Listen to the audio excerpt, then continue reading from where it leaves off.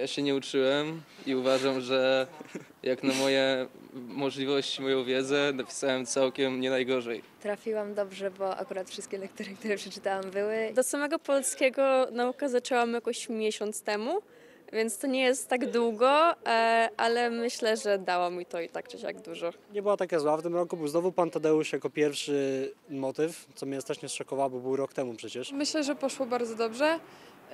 Te matury nie, nie była trudna moim zdaniem. Zresztą no wiadomo, stresowałem się polskim, bo polskie matma są tymi najgorszymi z podstawowych, angielski to raczej większość osób zda. Jestem bardzo zadowolona, ponieważ e, było dużo rzeczy, których ja powtórzyłam i bardzo się cieszę, że je powtórzyłam, więc nic mnie nie zaskoczyło na tej maturze. Zaskoczyło mnie to, jak łatwo było. E, Spodziewałam się totalnie lektur, które były cięższe, jeśli chodzi o tematykę. Na przykład nie było dziadów ani lalki, to w ogóle się tego nie spodziewałam, ale jestem pozytywnie zaskoczona.